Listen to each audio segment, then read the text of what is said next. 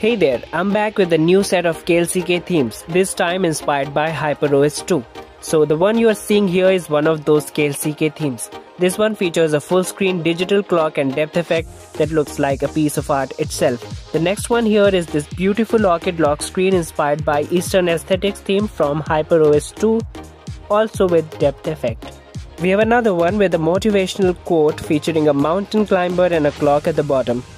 Next we have this magazine lock screen with a dark alleyway and big bold clock. We have one more motivational theme that features a cyclist and a large digital clock with a depth effect. Then we have this fireworks lock screen that has this long text clock and last but not least we have another Eastern aesthetics theme with peacock plumage that looks just as beautiful. Let me know in the comments which one you like better. Here's how to get it. First, head to the Play Store and search KLCK and install the Kustom lock screen maker app if you don't have it already.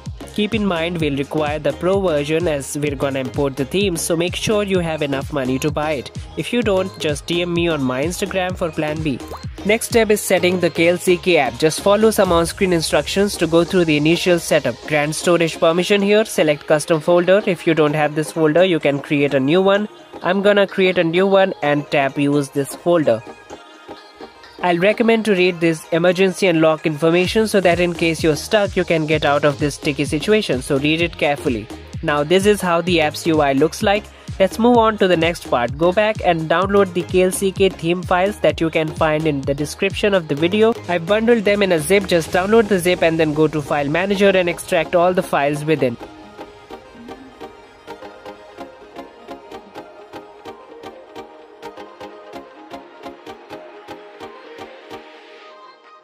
Now all you have to do is to select these files with .klck extension and navigate to the custom folder and there you will see a lock screens folder.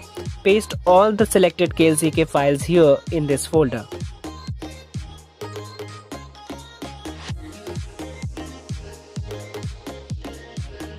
Now open KLCK app again, then go to library section and you'll see all your themes here in the library section. Just pick any one you want. I'm gonna pick this one that I call Daydream.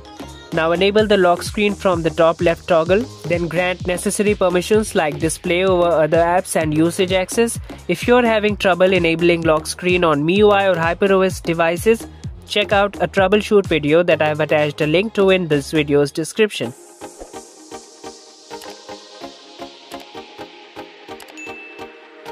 Make sure you do not keep the KLCK app in optimized apps list to do that, go to KLCK app info screen, then tap battery saver and then set it to no restrictions. There's one more necessary thing that MIUI or HyperOS users must do. Allow the KLCK app to show on lock screen and display pop-up window while running in the background. And that's it. If you like this video, make sure to hit thumbs up and subscribe to my channel. Peace.